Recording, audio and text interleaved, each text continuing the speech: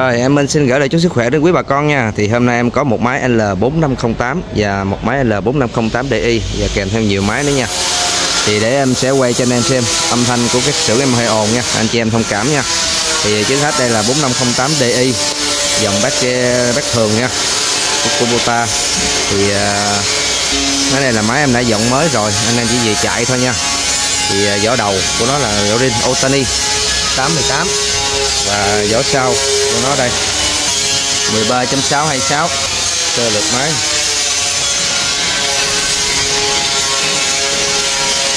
Rồi cầu sơn đã làm bảo dưỡng xong hết cho anh em luôn rồi ha. Chỉ về việc chạy thôi nha.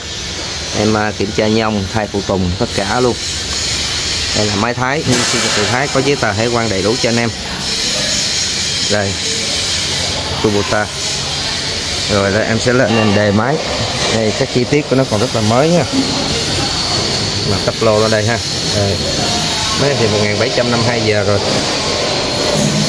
Bốn số cần rùa cần thỏ.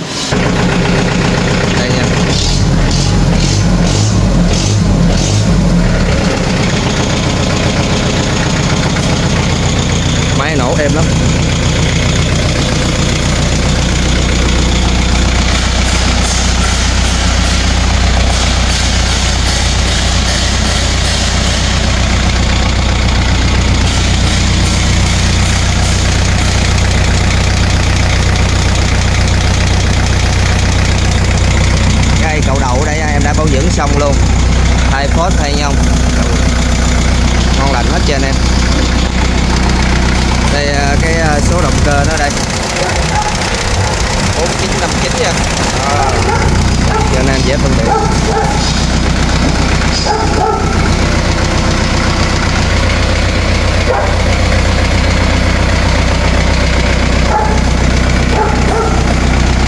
Rồi em à, xin phép xong máy này nha. Cảm ơn em rất nhiều luôn.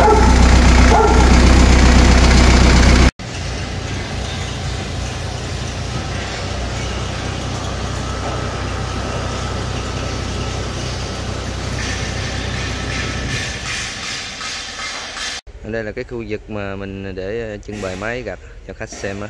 Mình sẽ quay ờ, tổng quan sơ sơ cho anh em xem ha.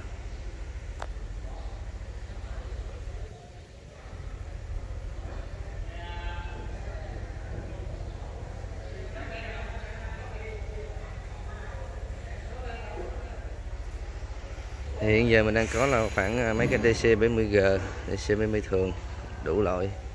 Tất cả đều là máy nhập hết ha. Ừ, ở phía trong đây thì mình có để mấy chiếc 105 để mình quay cho mọi người xem. Đây 105 mình đang còn khoảng 6 chiếc ha.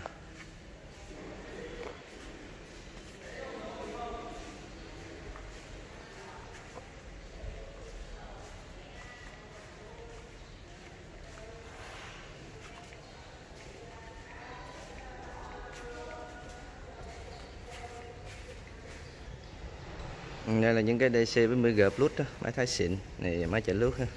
Được gần bây giờ 9 chiếc bây giờ còn 3 chiếc thôi ha. Cũng gần hết rồi anh em cứ lựa sớm. Ở phía trong đây thì mình cũng để máy nhiều lắm nha. Đây.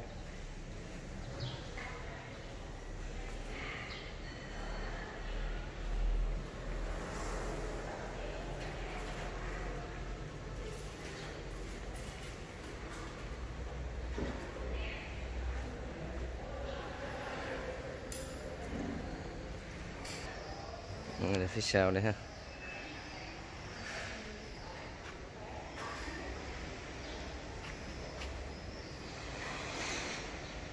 Nhờ máy mình có để sẵn á anh em cứ thích thì đến test máy à. à nghĩ chiếc nào thì lấy chiếc đó ha. Rồi bên đây à, về đến à, 6 chiếc ha.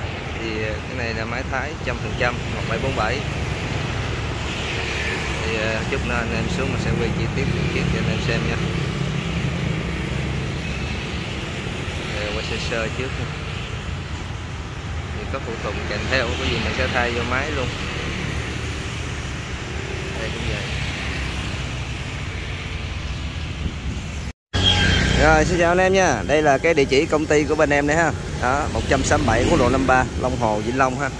Thì uh, phía bên đây là phía bệnh viện đa khoa tỉnh Vĩnh Long. Đây là con đường quốc lộ 53 đây ha. Đây. Cho anh em dễ nhận diện nha.